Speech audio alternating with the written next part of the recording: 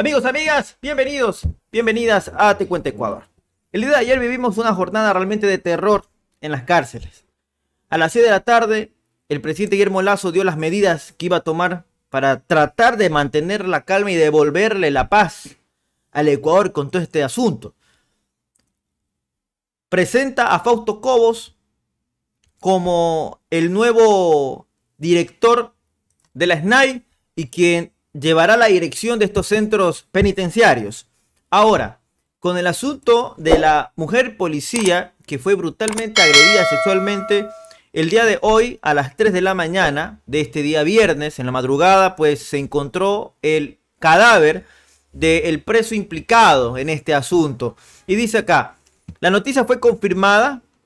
La agresión sexual de una policía en la cárcel de Cotopaxi apareció muerto en su celda. El hallazgo se dio a las 3 de la mañana de este día viernes. Los primeros reportes policiales indican que es el hombre de 23 años, fue hallado por otros privados de la libertad presuntamente ahorcado en una viga. La policía indaga los hechos para esclarecer la muerte. El cuerpo fue trasladado a la morgue de la ciudad para practicar el examen médico. El hombre fue identificado el día de ayer por las autoridades como el presunto responsable de la agresión sexual de la policía durante un motín de el pasado miércoles que dejó 14 víctimas mortales en la cárcel. El sospechoso también era señalado como uno de los cabecillas de un pabellón de máxima seguridad de la cárcel de Cotopaxi. Sigamos. Aquí tenemos el pronunciamiento de Guillermo Lazo. Ayer, 6 de la tarde, daba justamente eh, los puntos en los cuales se iban a ejecutar para tratar de traer la paz a estos, a estos centros de reclusión. Veamos. Se equivocan si creen que este gobierno va a actuar con la misma tibieza que los anteriores. Se equivocan si creen que nos va a temblar la mano. Les quiero decir que todos ustedes serán derrotados. Vamos a usar todo el poder de la ley para imponer el Estado de Derecho y garantizar la paz y los derechos humanos en los centros carcelarios del Ecuador. Para esto, el gobierno nacional ha tomado acciones inmediatas. La primera, se declara el estado de emergencia en el sistema carcelario a fin de movilizar todos los recursos humanos, económicos, necesarios para restablecer el orden. En segundo lugar, se ha establecido el control militar en el perímetro de acceso a los centros carcelarios en el filtro 1 y el control policial en los filtros 2 y 3 y prácticamente total en los centros carcelarios. Se ha cesado al general Edmundo Moncayo como director del SNAI. En cuarto lugar, he suscrito electrónicamente un decreto ejecutivo a través del cual se nombra al coronel en servicio pasivo Fausto Cobo Montalvo como el nuevo director del Servicio Nacional de Atención Integral a Personas Privadas de Libertad. Y ahí estaba, Fausto Cobo, ahora es el nuevo responsable. Fausto Cobo no, no es una cara nueva, un rostro que ayudó en su momento a Lucio Gutiérrez a dar el golpe de Estado contra Maguad y que posteriormente formó parte de su gobierno y que posteriormente parece que es el padrino político de Guillermo Lazo. O sea, Ecuador volviéndose décadas atrás, cerca del 90, cerca del 2000. Esto fue lo que dijo también Alexandra Vela, ministra de Gobierno. Actualizó las cifras y rápidamente dijo, Además de los 21 internos fallecidos, indicó que ya se ha recapturado, ya se recapturado a 78 privados de libertad. Hay 41 reos heridos. Ahora, ¿qué dijo en ese momento el señor Fausto Cobo? Vamos a escucharlo porque aquí están sus primeras declaraciones como nuevo director de la SNAI. Veamos.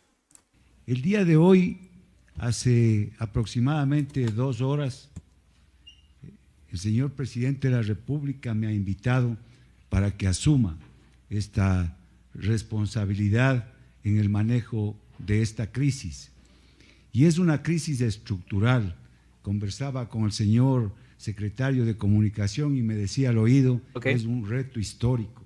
Y yo creo que sí, es un reto histórico. Y para eso está el gobierno del encuentro. ¡Ah, bárbaro! Esa es la diferencia con los anteriores gobiernos. Ah, bárbaro, entró pero bien, bien cepillero, no entró pero ah, bien la menor de botas. Cálmate, Fausto. Yo sé que fuiste asambleísta y parlamentario andino con, con Creo, pero vaya a hacer su trabajo. para después dejemos las cepilladas. Para luego de los resultados, puede cepillar todo lo que quiera a Guillermo Lazo. Pero, a ver, parece que la respuesta que va a dar Fausto Cobo es el anterior gobierno estoy equivocado? Vamos a ver a continuación. Nosotros hemos asumido una herencia, pero no solamente vivimos de quejas, sino que también asumimos el reto de tomar decisiones.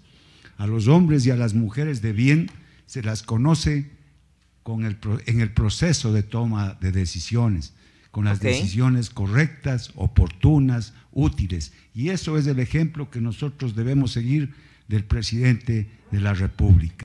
Basta, ya van dos, dos cepilladas en un solo, en una sola intervención. Cálmate, por favor, ¿no? ¿Y de qué acción oportuna e inmediata estamos hablando? Si todo esto se dio desde día miércoles, recién el día jueves, 6 de la tarde, toma las medidas. ¿Qué clase de acción inmediata oportuna es eso? Pregunto. Poco y más esperaba el feriado del 25 de julio para recién tomar medidas. Y eso da la suficiente fuerza para que nosotros asumamos este reto con mayor tranquilidad, pero con la responsabilidad que tenemos frente al país. La criminalidad es la que provoca la violencia. El Estado tiene que poner la fuerza necesaria para imponer el orden y el respeto a los derechos de la gran mayoría de ecuatorianos. En ese marco tomaremos las decisiones adecuadas, siempre orientadas, orientados los lineamientos políticos del gobierno del encuentro y del señor presidente de la República. Por mi parte, solamente el presidente, el gobierno y la ciudadanía encontrarán lealtad, honestidad y la valentía suficiente para asumir los riesgos de la vida y en este caso este riesgo que es un, un tema que no es fácil de solucionar, pero que lo haremos con, la suficiente, con el suficiente apoyo político y con los medios necesarios para cumplir con la misión. Muchas gracias, señor presidente. Oiga, salió cepillero, salió hablando de los anteriores gobiernos salió hablando que iba a aplicar toda la fuerza necesaria y que solamente se necesita pues decisión política para aplicarla. Bueno, vamos a ver, vamos a ver los ejemplos, ¿no? De, de este caminar político del señor coronel Fausto Cobo Montalvo. Dice, bueno, por acá un tuit decía, y todos sabemos cuál va a ser la primera acción de Fausto Cobo para acabar con el caos en las cárceles, ¿no? Obvio, llevar a cabo una investigación exhaustiva que concluya que toda la violencia fue preparada, coordinada y dirigida desde Bélgica, que es prácticamente lo que le faltó decir, pero empezaba a dar sus pincelazos. Rafael Correa dice, Fausto Cobo, pero si es medio fascista y un completo incapaz. Nos volvieron al pasado. Postdata, fue quien junto a Lucio Gutiérrez dio el golpe a Maguat, padre político de Lazo. Qué cosas, ¿no? para que vean el grado de violencia machista del flamante director de la SNAI, pero Guillermo Lazo insiste en seguir encontrándose con este tipo de gente. En su momento, Marcelo Holguín se refería al tema de las cárceles justamente.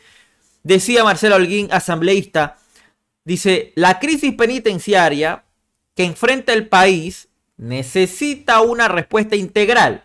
No podemos ser cómplices del silencio. Los responsables deben explicar qué sucede en los centros penitenciarios y las acciones a tomar. Es urgente.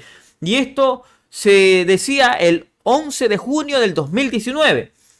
A esto le responde nada más y nada menos que el señor Fausto Cobo, hoy director de la SNAI. Le dice a Marcelo Holguín, imbécil, tu amo, mameluco, destruyó la institucionalidad, debilitó a la policía y a las Fuerzas Armadas, se alió con los, los cárteles del narcotráfico y con los narcoterroristas, aprobaron las leyes que favorecen a los delincuentes, convirtieron al Ecuador en un narcoestado. Ahí tenemos al nuevo director de la SNAI.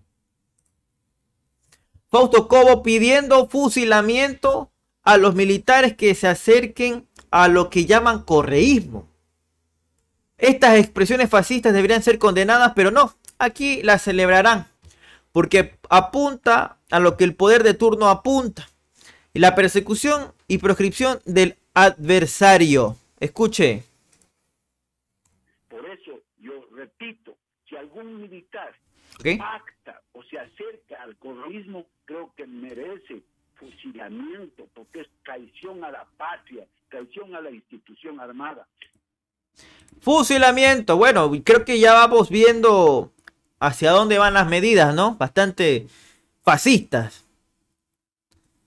¿Qué dice la presa libre independiente? ¿Mm? Carlos Vera, excelente nombramiento en el coronel Fausto Cobos para dirigir la SNAI. Sistema carcelario declarado en emergencia. Mantenga esa firmeza, señor presidente Guillermo Lazo. Dios mío santo. Y para terminar, el politólogo Matthew Lecuan indica que la designación de Fausto Cobo es reflejo de que no hay renovación en los cuadros y que el gobierno vuelve a los 90. Parece que no le gusta esta solución eh, importante con cambios rotundos en la sociedad a los gobiernos de derecha. La forma, la mejor forma para bajar los índices de criminalidad es dando trabajo y dando educación de calidad. Con estos dos puntales sacas a muchísima población de la pobreza, gente que empieza a estar ocupada, que empieza a tener un ingreso para su casa y que puede tener capacidad adquisitiva. Obviamente, el hecho de no tener no justifica que sales a la calle a robar. Hay tantísima gente honesta y honrada que sale a la calle a hacer cualquier cosa con tal de ganar el pan, el sustento diario. Pero vamos a ese otro grupo en la cual no tiene ninguna oportunidad y lastimosamente toma esa salida fácil. Señoras y señores, a su consideración los comentarios, escriban, opinen que es importante, qué debe hacer el gobierno en este caso, qué sería la solución más conveniente al Ecuador en estos momentos, en donde tal parece que no hay solución concreta, solamente fue eh, detenido todo el caos de ayer, pero no, no llegando a una solución real que signifique que no hayan otros capítulos como este. Lastimosamente no es así. Dios, Patria Libertad, nos vemos. Hasta un siguiente programa aquí en Date Cuenta Ecuador. Nos vemos en un próximo video.